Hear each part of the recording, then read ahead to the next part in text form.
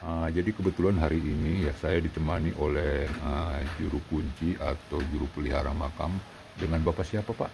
Aki Encung. Aki Encung. Nah dengan Aki Encung. Jadi uh, sebentar kita ngobrol-ngobrol pak ya tentang makam keramat uh, dua makam keramat ini. Ini kan adanya dua pak ya dua makam keramat. Satunya adalah Aki dalam Waas. dalam Waas dan satunya lagi Nini itu ya. Nini ya, berarti suami istri barangkali ya Pak ya. Ya. Uh, jadi sejarahnya gimana itu Pak tentang uh, Aki dalam muas tersebut? Aki kalau sejarah mah itu dari dulu juga ada ini uruan dari Banten kan. Iya iya. Ya, ya. Iya. Ini uruan dari Banten yang kelima. Oh keturunan Banten yang kelima. Yang kelima hmm. orang Banten juga kan sering ke sini. Oh gitu ya. Kuncen kuncen dari Banten itu kemari setahun sekali. Oh gitu ya. Ya kan hmm. ada karnya juga di Banten ada kan. Iya. Yang ini yang kelima. Hmm. Oh jadi pemirsa uh, Aki dalam Muas ini merupakan kalau kita gali ya, uh, jadi nasabnya itu ke Sultan Hasanuddin Banten. Yang kelima. Yang jadi turunan kelima dari Sultan Hasanuddin Banten. Ini jarang orang yang tahu karena lokasi ini jarang publik ya. Assalamualaikum warahmatullahi wabarakatuh pemirsa.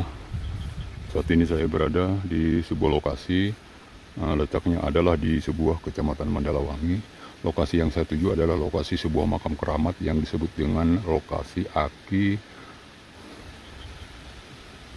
Waas. Aki di dalam Waas ya. Jadi lokasinya ada di depan saya sekitar uh, jarak dari saya berdiri di sini ada sekitar 25 meter ke lokasi tersebut. Jadi lokasinya ada di tengah-tengah pesawahan ya. Di Kecamatan Mandalawangi, kampungnya itu Kampung Giripawana. Ini sangat bagus sekali namanya ya, Kampung Giripawana, Desa Giripawana. Jadi lokasi yang disebut dengan keramat atau makam Aki Ki dalam Moas tersebut. Nah, lokasinya uh, menurut uh, orang-orang sangat beraura, sangat luar biasa sekali katanya. Jadi aura negatifnya luar biasa dan lokasi itu kadang-kadang suka penunggu di sana itu suka galak. Gitu. Jadi galak ya menurut informasi warga. Jadi kalau kita sembarangan masuk ke sana dengan tujuan sembrono atau sembarangan, maka biasanya gitu ya orang tersebut uh, dilempar ke sawah katanya. Ini sangat mengerikan sekali ya. Jadi uh, lokasinya uh, itu di situ ada sebuah bapak-bapak ya sekaligus juru kunci atau juru pelihara makam dan saya akan mewawancarai uh, bapak tersebut uh, seperti apa makam keramat uh, Aki dalam muas tersebut uh, dari dekat seperti apakah sejarah atau perjalanan Aki dalam muas tersebut apa atau nasabnya itu kira-kira uh, ke mana gitu ya. Nah, jadi kita akan menggali ya dari se abah tersebut. Mudah-mudahan abah tersebut bisa memberikan informasi ya buat uh, kita semua. Uh, saya akan mendekat ya. Jadi di, dari kejauhan sudah kelihatan ya abah tersebut uh, sedang menyapu lokasi area pemakaman.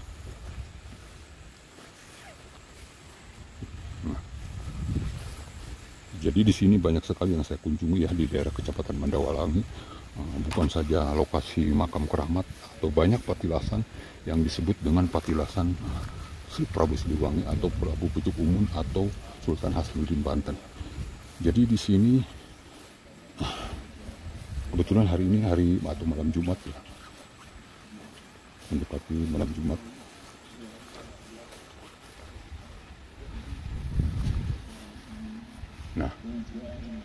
jadi dari kejauhan sudah uh, kelihatan ya bapak tersebut sedang membersihkan uh, sebuah uh, makam keramat. Jadi bapak tersebut adalah bapak yang disebut dengan julukan Aki. Uh, jadi api. Jadi api tersebut uh, semoga saja tahu ya tentang sejarah uh, Aki dalam was tersebut.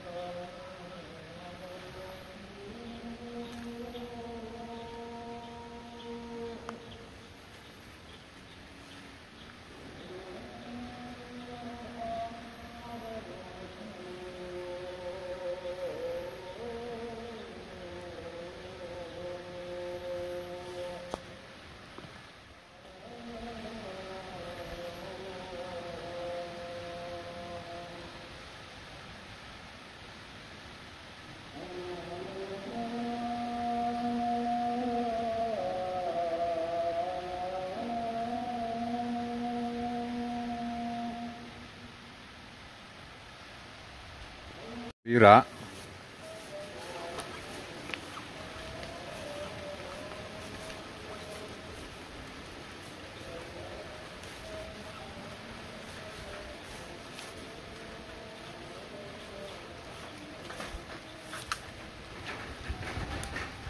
Assalamualaikum warahmatullahi wabarakatuh uh, Pemirsa di mana pun Anda berada Di video kali ini saya berada di sebuah lokasi Yaitu ada di Kecamatan Mandalawangi Tepatnya di Kampung Giripawana.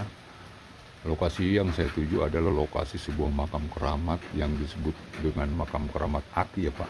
Di dalam mas Aki dalam Waas Uh, kebetulan lokasinya cukup agak sedikit ke dalam ya. Jadi ini adanya di uh, tengah-tengah pesawahan Uh, jadi kebetulan hari ini ya saya ditemani oleh uh, juru kunci atau juru pelihara makam dengan bapak siapa pak?